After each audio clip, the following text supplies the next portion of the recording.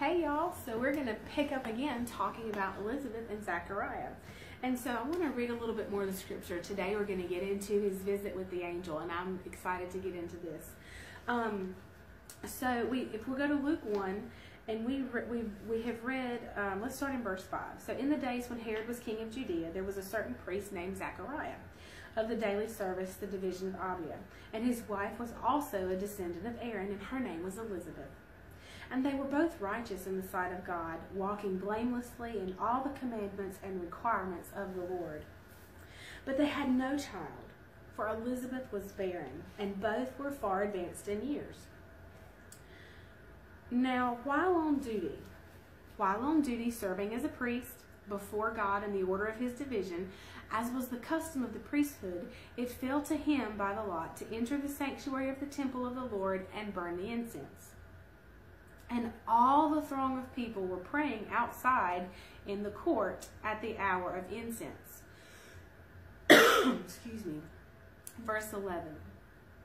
And there appeared to him an angel of the Lord, standing at the right side of the altar of incense. and when Zacharias saw him, he was troubled, and fear took possession of him. But the angel said to him, Do not be afraid, Zachariah, because your petition was heard, and your wife Elizabeth will bear you a son, and you must call his name John. God is favorable. And you shall have joy and exultant delight, and many will rejoice over his birth. For he will be great and distinguished in the sight of the Lord. And he must drink no wine nor strong drink, and he will be filled with and controlled by the Holy Spirit, even in and from his mother's womb. And he will turn back and cause to he will turn back and cause to return many of the sons of Israel to the Lord their God and he will himself go before him, Jesus, in the spirit and power of Elijah, to turn back the hearts of the fathers to the children, and the disobedient and the incredulous and unpersuadable to the wisdom of the upright, which is the knowledge and the holy love of the will of God. In order to make ready for the Lord a people perfectly prepared in spirit, adjusted and disposed and placed in a right moral state here's what I want to really get you to see today. And Zachariah said to the angel, Stop. I cannot, cannot, cannot, cannot tell you the importance of first response. Your first response is the epic importance and magnitude. The weight of your response, your first response, to a word from God, to a situation that you face, first response is of epic proportions. And so here we have Zechariah, who is a righteous man, a man of God, a priest. He walks in the commandments and the requirements of the Lord. He is righteous in the sight of God. He is well versed and well trained in the history of the Jewish people. He knows of all of the miraculous stories of Abraham and Moses and Daniel and Joseph and Gideon. Any any magnificent display of God's power that had ever happened, Zechariah knew it. He knew it.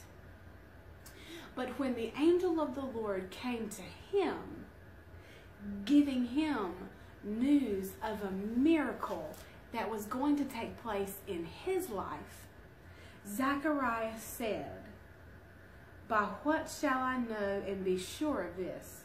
For I am an old man, and my wife is well advanced in years. Zachariah, who knew all the things God had done, said, how, how do I know this? How do I know this for sure? For I'm old and so is my wife. First response. It wasn't excitement. It wasn't, oh, God has heard my prayer, as Gabriel said in verse 13 of chapter 1, he said, Do not be afraid because your petition was heard. And your wife will bear you a son. It wasn't any of that. It was, How will I know and be sure of this? Because I'm old and so is my wife. And you know what Gabriel said next? And the angel replied to him, I am Gabriel, an angel, Gabriel, and I stand in the very presence of God, and I have been sent to talk to you, to bring you this good news. Now behold, you will be and will continue to be silent and not be able to speak until the day when these things take place, because you have not believed what I told you but my words are of a kind which will be fulfilled in the appointed and proper time. So I just I'm going to leave you with that today, and we'll pick up here again tomorrow. But the importance of first response. First response. I'll see you tomorrow. Bye.